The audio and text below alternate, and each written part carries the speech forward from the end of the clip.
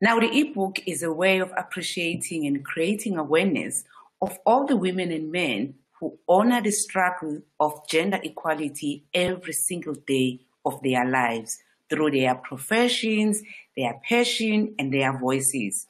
It is an honor to introduce a quote from a woman who needs no introduction. Here are wise words from the Executive Director of UN Women, Madame Phumzile Mlambo Ngcuka. Let's all jump together so that we can create an earthquake to build back and better. Our next quote comes from Kem Okocha, who is a fintech startup founder of Mama Money.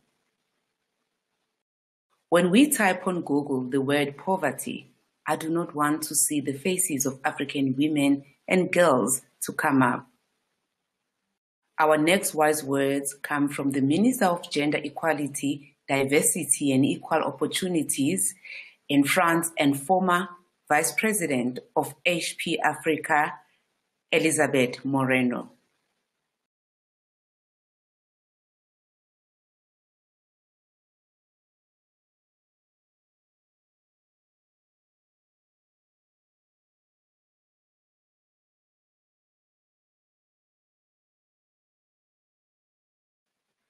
And the final quote for today comes from Angela Kwemo, founder and chair of Believe in Africa.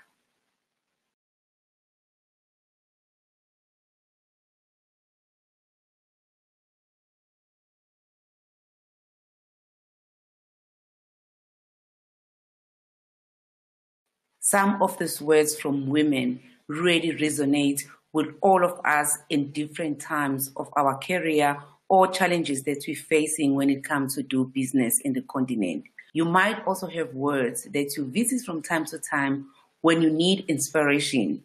Do share those quotes with us at hashtag wise words. I will see you in the next two weeks. Thank you for joining us.